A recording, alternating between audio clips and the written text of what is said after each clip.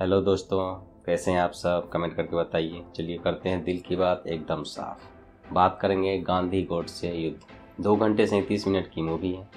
शुरू होते ही डिस्क्लेमर दे देता है, ये मूवी किसी स्टेज प्ले से प्रेरित है। डिस्क्लेमर दे के सारे अपना जिम्मेवारी हटा देता है मूवी, उसके बाद शुरू हो जाता है अपना खेल खेलना। ज़्यादातर सीन गांधी जी पे ही केंद्रित है।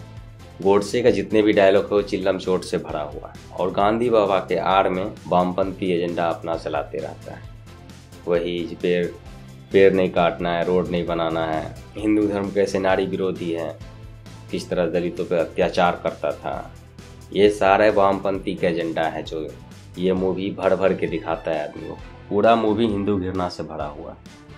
हिंदू घृणा कूट कूट के भरी हुई है इस मूवी इलॉजिकल बातें सारे इलॉजिकल बातें इसका आज के समय में तो कोई स्थान नहीं है। जितनी इलॉजिकल बातें बताता है, इस मूवी का सारे बात का काट आपको सोशल मीडिया में ही देखने को मिल जाए।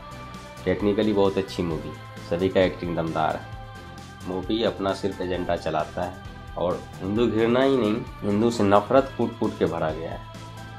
फ़िल्म शुरू होता है और दिखाता है कि पाकिस्तान से आदमी पलायन करके आ रहा है भारत में। और जो आ रहा है, वो सारे के सारे दरिंदे हैं। वो जितने भी आदमी पाकिस्तान से इंडिया आ रहे हैं, ये मूवी दिखाता है कि सब दरिंदे हैं, आके यहाँ चारों तरफ़ चिल्लम चोट कर रहा है, यहाँ पे दंगे कर रहा है, वो मस्जिद को तोड़ के मंदिर बना रहा है। ये मूवी बताता है। महात्मा गांधी जी के आर में सारे एजेंडा चलाता है। सारे वामपंथियों का एजेंडा कूट कूट के भरा हुआ है इस मूवी की ये मूवी राजकुमार संतोषी जी का ये मूवी इससे पहले Ghayal, Damini, the legend of Bhagat Singh. 2013 में उसकी मूवी आया था। फटा पोस्टर निकला हीरो। उसके 10 10 वर्ष के बाद ये मूवी आया है, गांधी गोड से युद्ध। हिंदुओं के प्रति नफरत इसके एक एक सीन में कूट कूट के डाला गया।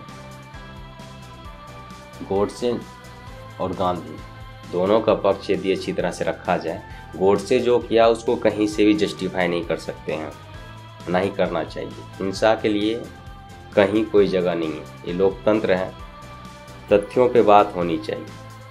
और तथ्यों को तथ्यों से ही काटा जाना चाहिए। उसके लिए हिंसा का कोई प्रयोग नहीं होना चाहिए। ये वैचारिक युद्ध है। विचार से ही इसको काटा जा सकता है। यदि वो गोडसे ने वो कदम नहीं उठाया होता तो आज हिंदुओं की स्थिति कुछ और हो सकता था। और देश आज़ाद हो चुकी थी। लोकतंत्र था।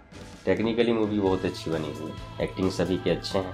असगर वजाहत ने इसका डायलॉग लिखा है। ए आर रहमान का म्यूज़िक है। इस मूवी के मुताबिक दुनिया का सबसे बड़ा समस्या हिंदू ही है। जितने भी डायलॉग्स हैं, सभी लॉजिकल है। इसका लॉजिक से कोई लेना देना नहीं। पिक्चराइजेशन अच्छे है। आपको उन्नीस सौ सैंतालीस के दौर में ले जाएगा और ले जाकर अपना एजेंडा चलाएगा मूवी कुछ लॉजिक से लेना देना हो मूवी का तो एक बात बने।